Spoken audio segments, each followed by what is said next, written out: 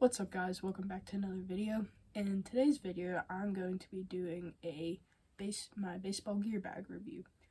Well, I guess not really a review, a review, but just what I have in my gear bag. Now, this video isn't really something I have done before, but if you watch my videos, you know that I love baseball.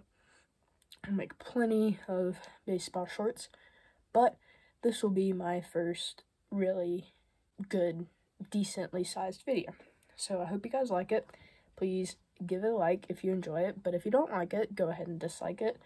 But just let me know in the comments what I can do to be better. Alright, now getting into the actual bag. Starting with my Boombah bag. It is a humongous bag, as you can see. We'll just say that. Okay, starting off with the top pocket. I have my mask because COVID. That sucks. Gotta wear it. Stay safe out there, guys.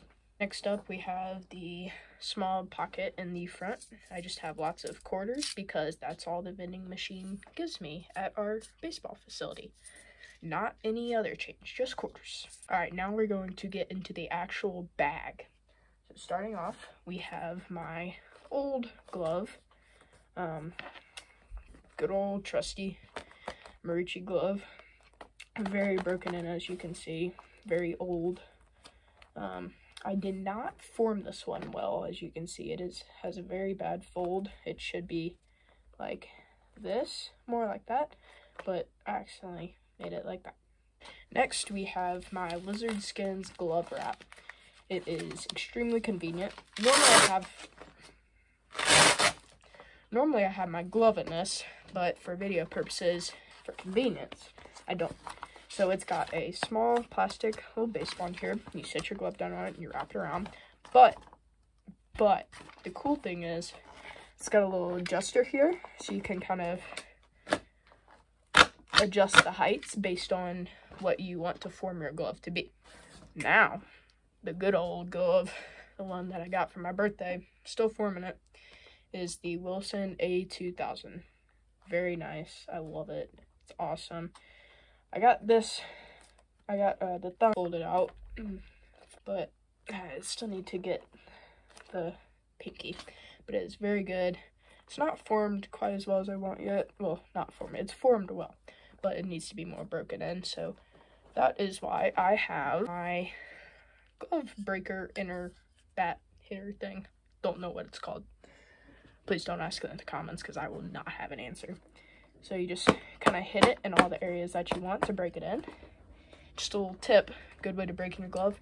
Lay it down flat on the ground and crease it how you want to. And then hit the crease right here on both sides a lot.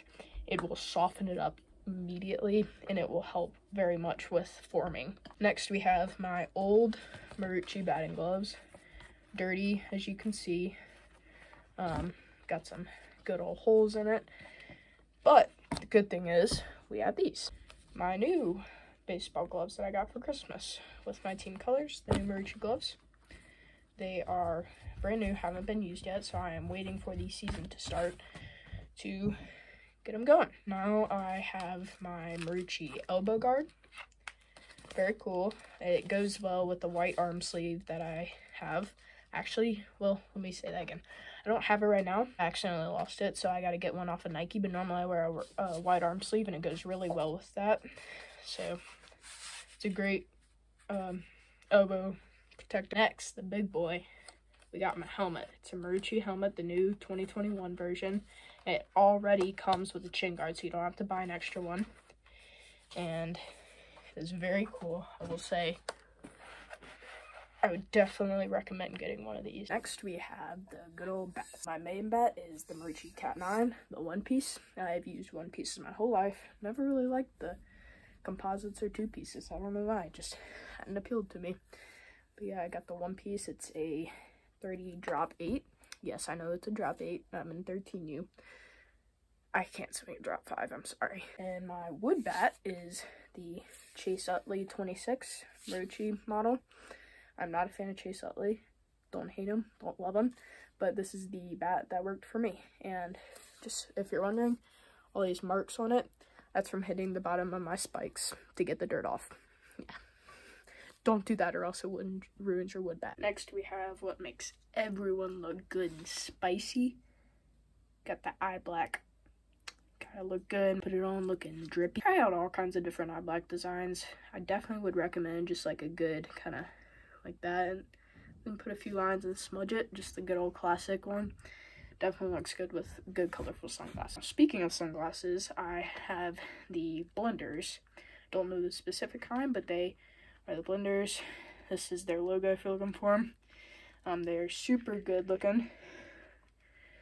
Mine um, are like a kind of pink, yellow, orange kind of color scheme. Looks very good. I will pop up a few pictures of me in some games with them on because it looks really good. Next, my hat. This is my fall hat. Um, it is the red one for my team. But for the spring, we're going to get some blue ones, and it's going to be looking now for the moment you've all been waiting for, the cleats. I have the Nike Alpha Huarache, Huarache, Huarache, let me know in the comments how to pronounce it. Um, Nike Alpha Huarache Mid 3. Um, it's a very good looking spike. Um, you have the Velcro. I don't have the laces on them right now because I've been cleaning them, but they will go on by uh, springtime, don't you worry. Next we have my backup sunglasses. They're not as good looking. They're still pretty good. They're the Marucci glasses. They the green color helps for with outfielders because I'm an outfielder and it gives a good, more clear view of the ball.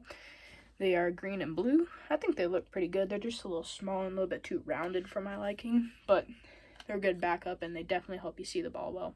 I forgot to say earlier, these blenders are polarized, so that is a plus. And blenders, man, they are cheap for good polarized sunglasses. I'd say they're better than Oakley's, and they're like 60 bucks. It's amazing. I would definitely recommend some. Not sponsored though. Blenders, can you sponsor me, please? Guys, thank you again for coming in to watch. And this is my first long video, so let me know what you think of it. And um, don't forget to like and subscribe. See you next time.